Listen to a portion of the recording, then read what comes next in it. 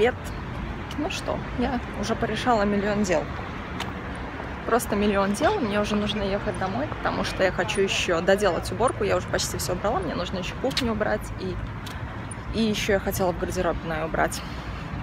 Точнее, организовать все. Тут во всю стройка. Такая прекрасная погода, что пройдусь немножечко. Не совсем мне туда, ну ладно, прогуляюсь. Я сегодня много чего сделала с самого утра. Тружусь. Завтра у нас государственный праздник. И это круто, потому что еще я смогу позаниматься своими делами.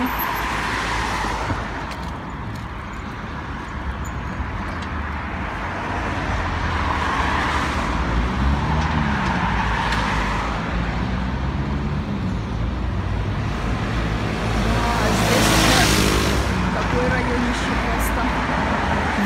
вымахивает.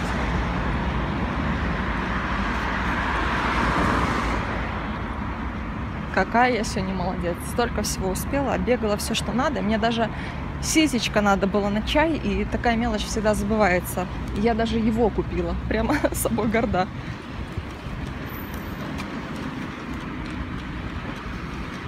Но я записала. С самого утра я поняла, что мне столько мест нужно оббегать, что я обязательно что-нибудь забуду. И я взяла себе, составила список всех-всех-всех своих дел, включая самые большие мелочи. И по списку, конечно же, легче все делать. Ну, я не успела шаг ступить, уже снова красный.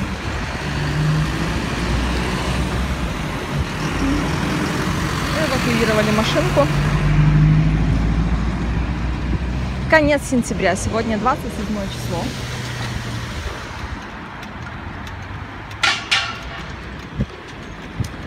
Такая прекрасная погодушка. Сейчас разница между днем и вечером, и утром. Сумасшедшая просто.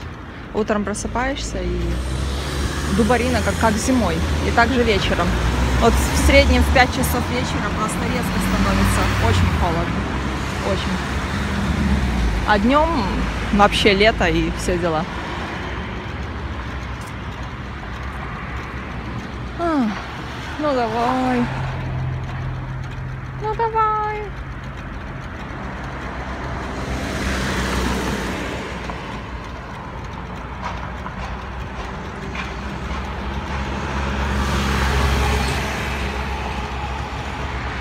Кошмар.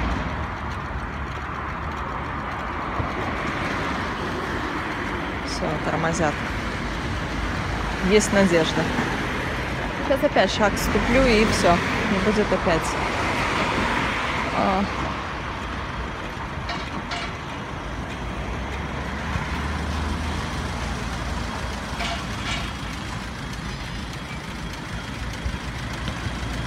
Ну вы представляете, сколько времени красный, а зеленый? Видели сколько? Три секунды был. Я не успела даже одну дорогу перейти, не то что две за, за тот момент, пока был зеленый.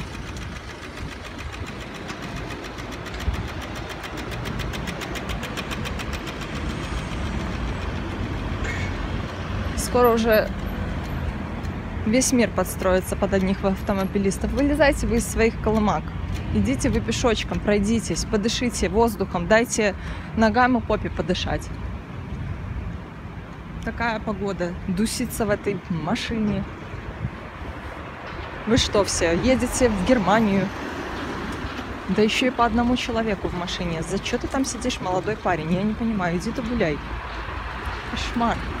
Непонятно. Для меня непонятно.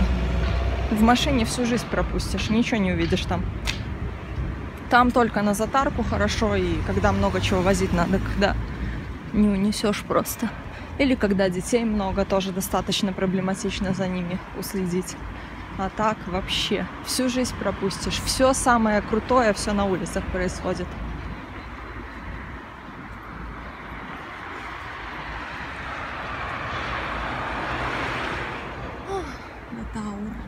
Уже говорила, первый жилой небоскреб в Чехии. Еще не знаю, сколько у него будет этажей, но уже похож на В.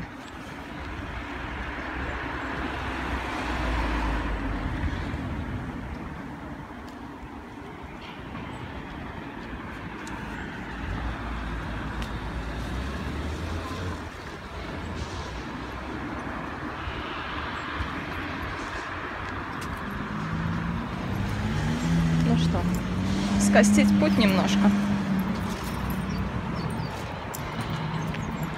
В торговый центр мне вроде не нужно, я уже все, что мне нужно было, купила. Несу. Но немножко сегодня. Я вчера бегала по делам, позавчера на затарку ходила, и в итоге я уже как-то с покупками так закончила. Вроде все у меня есть дома.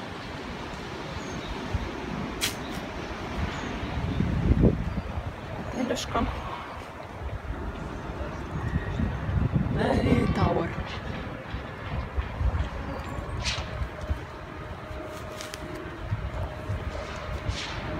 Ух ты, коптильня.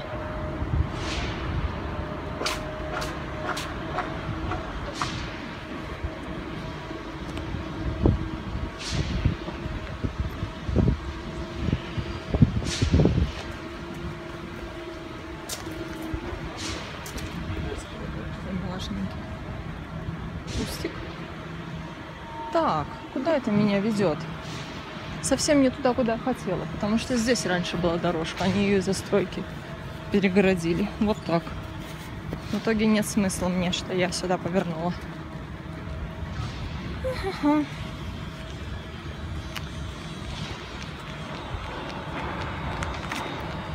Вот тут вообще не знаю, что это строится. Какая-то часть, что ли, этого здания новое. Не знаю. На стекло наступило.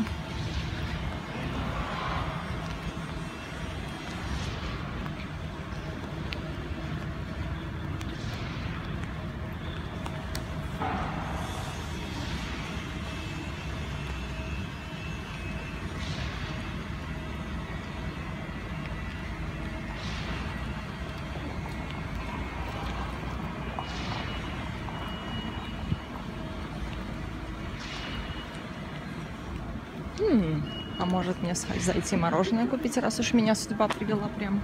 Я вам говорила, что я люблю вот это вот желатерия итальяна. Итальянское мороженое у них потрясающее совершенно. И я совершенно про него забыла. Но раз уж я здесь, и прямо мне эта надпись в глаза врезалась, то сто процентов я должна зайти мороженое покушать. Я, кстати, давно не кушала мороженое.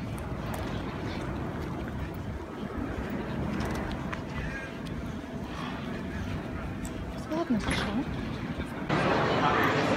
Ну что же, куда без мороженого? Один шарик у них, я говорила, один шарик за два. Если берешь два, то это как, как четыре. Он от зайти миксер у меня сломался. Все, наплакомилась я вкусняшным мороженым. Как-то очень в тему оно мне подвернулось. С таким большим удовольствием его скушала.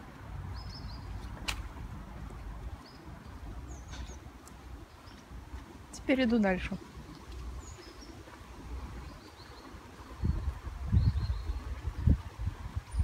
Надо прийти еще покушать. И... и убирать.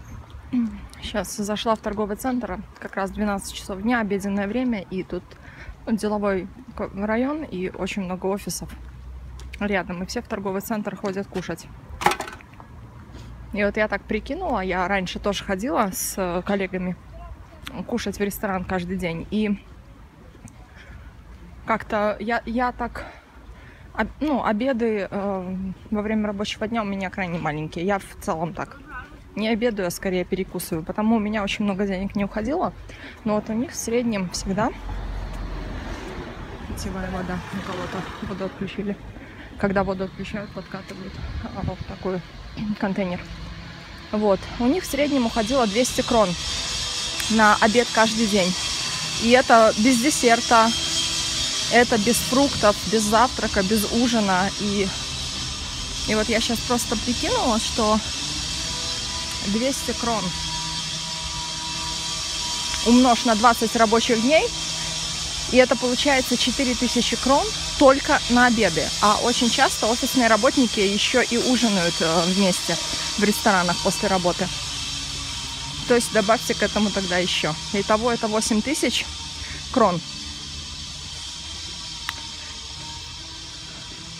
Это очень хороший бюджет на двоих человек питаться совершенно роскошно дома.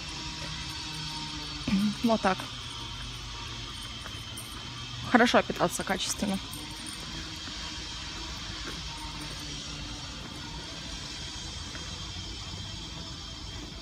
И просто тьма тьмущая людей так живет.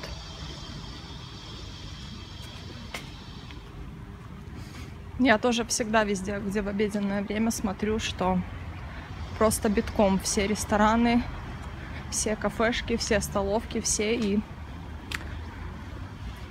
очень солидные денежки уходят на питание в ресторанах.